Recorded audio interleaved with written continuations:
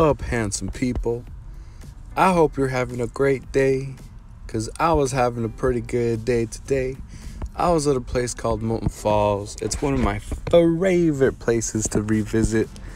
And uh, I love bringing people to the Moulton Falls because, man, I kind of act as like their tour guide and we just have good times. You know what I'm saying? It's just such a beautiful place, such good terrain, sunshine every time. Well, not every time. I mean, this is still the Northwest, so, you know, we do get clouds pretty often. But this is actually not in Oregon. It is in Vancouver, or not Vancouver, Washington. It's in the state of Washington. It's about an hour or 40 minute drive from Portland, depending on where you are in Portland. But man, as you can see, it's just so geared for the more adventurous type, you know? You got all these rocks that you're climbing over, and there isn't like a set trail. You just kind of make your way up up the river. And what's cool is that there are a couple of falls, but I'm bringing you along to one of my favorite falls at Moulton Falls. It's uh, definitely, uh, it's got a sweet, tender, uh, smelly part of my heart, and I gotta share it with you, man. I did kind of take like the hard way to get up there, but it's fun, it's challenging, and actually, it's kind of ever changing because as you can see, these trees they kind of fall over.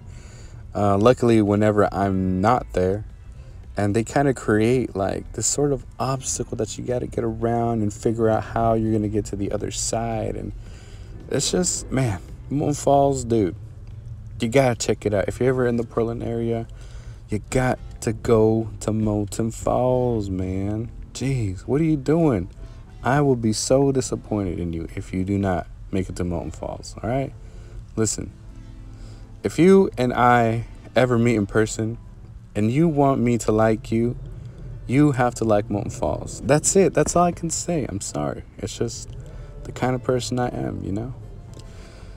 But, anyways, yeah, me and Grizzly are making our way through. We're almost at our location, but this freaking uh, tree happened to die.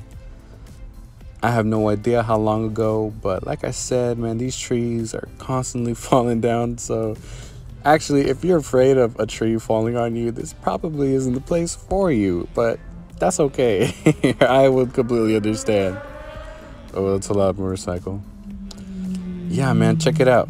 It is ah, ah so pristine. You know, even Grizzly agrees. Look at him, all happy. Wait, is he shaking his tail? How could you not be shaking your tail, Grizzly? That is blasphemy. You should know this is my favorite place. I can't believe it.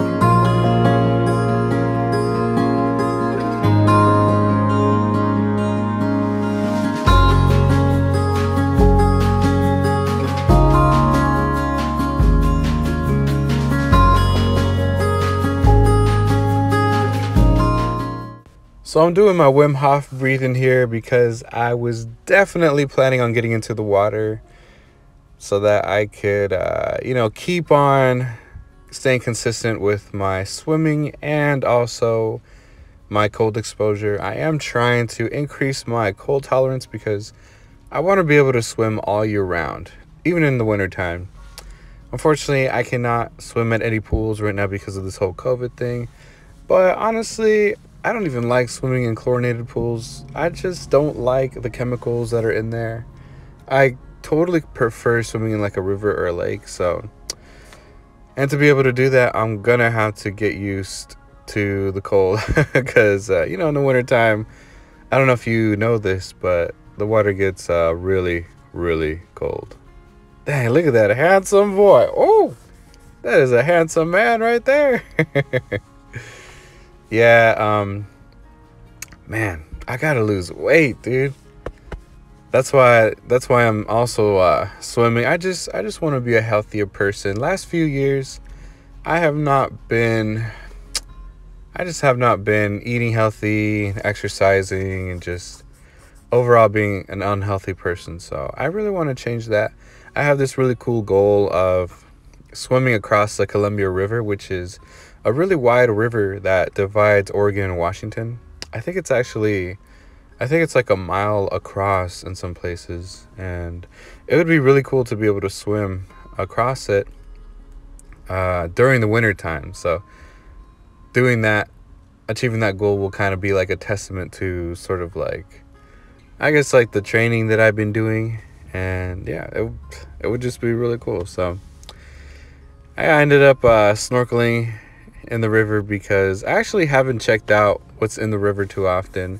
I've been here many many times, but I've only really snorkeled in this river. Not even I've never snorkeled in this spot before, but uh, farther down the river, I've snorkeled probably like two other times. And I just wanted to see if there was anything cool in here. It's very unlikely that I'll find uh, like human debris. I'm not gonna find like an iPhone up here because not too many people come up to this area. So, uh, this little spot was really cool because it was kind of like an underwater canyon with uh, a really like ripping current. I think that's the term, right? You can kind of see whirlpools forming. It was it was a really cool spot. I actually saw, but did not record a foot long trout that was just kind of coasting at the bottom of this canyon. There were some fishermen there um, that I had seen before. I had uh, I had seen that uh, that full size trout. You can see these little baby ones every now and then that I recorded, but yeah, I when I saw that trout, I I came back up to the surface and I looked around to see if the fishermen were there, but they had already walked down the river and I couldn't let them know that there was a freaking huge salmon or not salmon trout like right here. But it was alright. I got to enjoy it for myself. And uh, later in the video, you will see some pretty awesome slow mo of the baby trout that I recorded, accidentally recorded.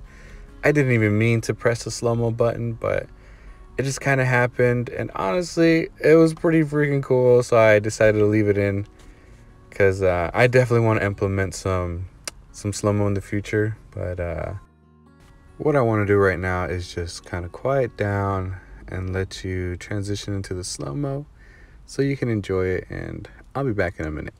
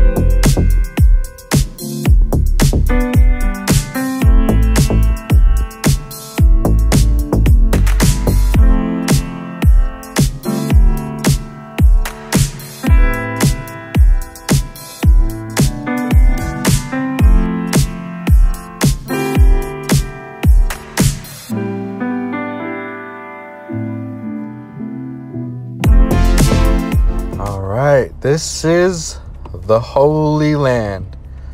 My absolute favorite place to be. I don't know if this place has a name. It is just farther up the river at Moulton Falls. And it is oh, it is just so pristine, dude. Oh, I love this place so much. What's really fun about this place is that as you can see there's a lot of white water right here and uh, because of the white water it breaks up the surface tension and you can attempt any sort of trick that you want to. I'm, I'm kind of just uh, messing around here, BSing. Uh, this was the first time I had jumped here in quite some time, to be honest. So I was a little nervous. I'm just kind of trying to like psych myself up, but I mean, you really, even if you mess up, it doesn't hurt that much because uh, the white water just sort of, like I said, breaks the the surface tension and you don't get the same kind of slap that you do. There you go. Woo. Got Goose a little bit wet. This place is so beautiful. I'm gonna have to throw in some slow mo and add a epic song to it, but unfortunately, I cannot afford the song that I want to use. It's a very famous song with a freaking amazing guitar solo, so I made my own rendition of it. Enjoy.